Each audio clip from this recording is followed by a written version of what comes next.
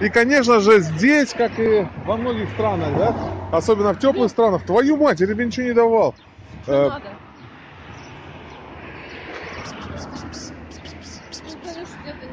Ну и что, Лянь, он подбежал, подбежал ко мне, Лянь. В общем, что можно встретить? Конечно же, животных. Каких животных? Где их любят животных таких?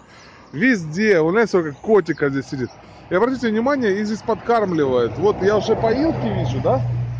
Я же вижу поилки, да? И коты, кстати, как только я подошел, вот один из них прям вот ска- скаканул ко мне. Хотя мне ничего с собой нет. И вот они подходят, вот.